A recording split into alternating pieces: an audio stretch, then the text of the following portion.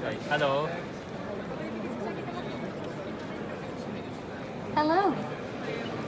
How are you? I was hungry. So, what do you eat actually? I ate simmered flounder today. Is it best for rice? Isn't it?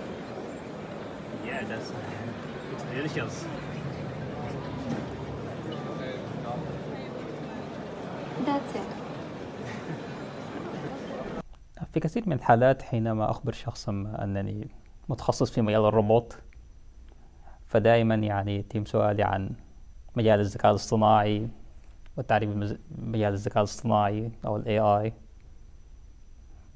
ولكن هل يعني الروبوت يعني الذكاء الاصطناعي؟ How long have you been here?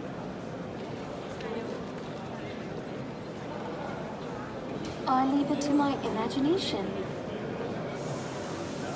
You have big imagination. That's it. السلام عليكم ورحمة الله أهلا وسهلا بكم معكم أيمن عمر واليوم سأحدثكم في موضوع في غاية الأهمية عن علاقة ال- الروبوت بالذكاء الاصطناعي.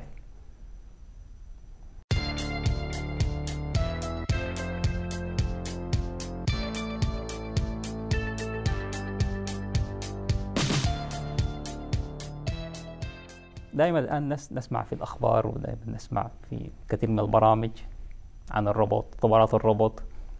دائما يتكلم الروبوت والذكاء الاصطناعي الروبوت والذكاء الاصطناعي ولكن ما هي علاقة هذا- هؤلاء يعني هذول التخصصين. والج- والذكاء الاصطناعي. يعني المعروف دائما طبعا الروبوت هو جهاز جهاز يكون شكل معين يعني. جسم كامل. ومبرمج يعني هو يحتوي على ثلاث أشياء رئيسية. لازم يكون جسم ميكانيكي. وهناك إضافات كهربائية قطع كهربائية. القسم الثالث هو البرمجة. يعني هناك ثلاث تخصصات تدخل في مجال الروبوت اللي هي الهندسة الميكانيكية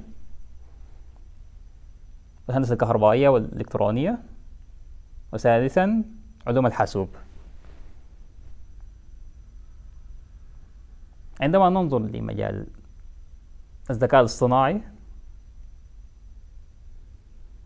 نجد نجده فقط متخصص ب متعلق بمجال علوم الحاسوب. لأن الذكاء الاصطناعي دائما هو متعلق بالبرمجة. فلا يوجد هناك هندسة ميكانيكية أو هندسة كهربائية.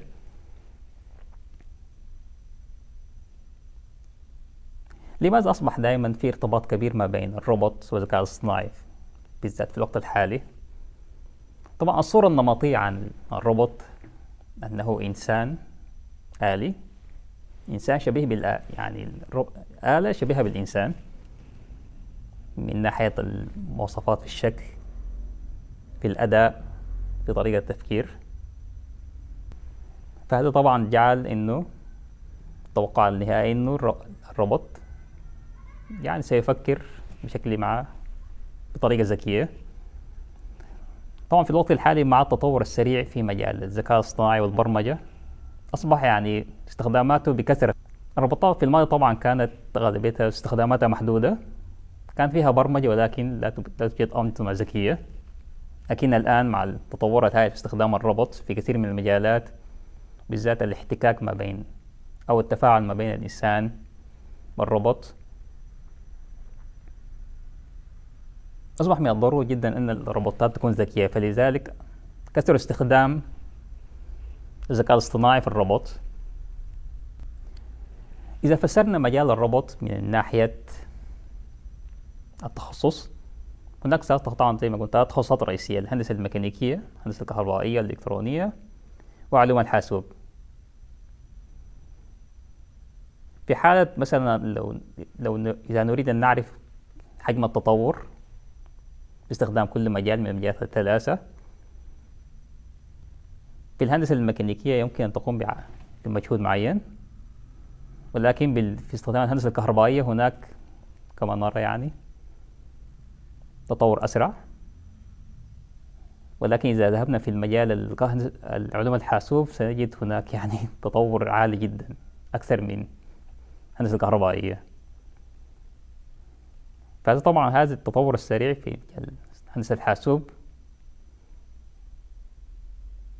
فنجد الغالبية العظمى من العاملين في مجال الروبوت هم في مجال علوم الحاسوب. عدد أقل طبعا في مجال الهندسة الكهربائية. العدد الأقل طبعا هو في الهندسة الميكانيكية.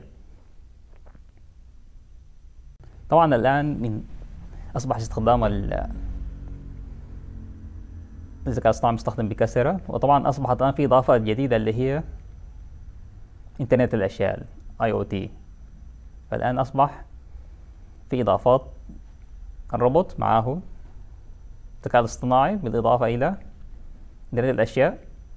أصبح الآن في تداخل كبير بيناتهم. وطبعا ده متوقع حيكون حيظهر بكثرة خلال السنوات القادمة. فقط للتأكيد طبعا هو الروبوت. والذكاء الاصطناعي مجالين مختلفين تماما. ولكنهم طبعا في تعاون كبير بيناتهم. وطبعا كثير من المجالات أصبحت الآن متداخلة مع بعضها. يعني الآن ممكن الروبوت يدخل في مجالات أخرى مثلا مثل هندسة الطيران. هندسة الطيران تحتاج أيضا إلى أنظمة ذكية. فأصبح الآن لا يوجد مجال مفصول من لوحده ولكن طبعا أصبح في تداخل كبير بيناتهم.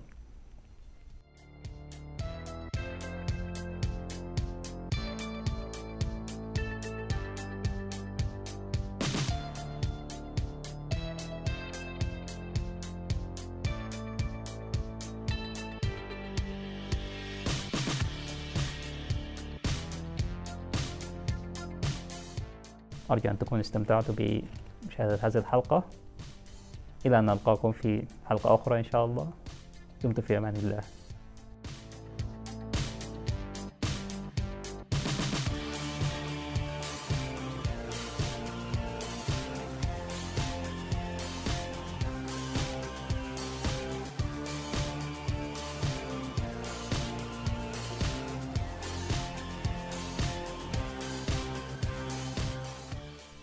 لا تنسوا الاشتراك في هذه القناة لمعرفة كثير من المعلومات في هذا المجال.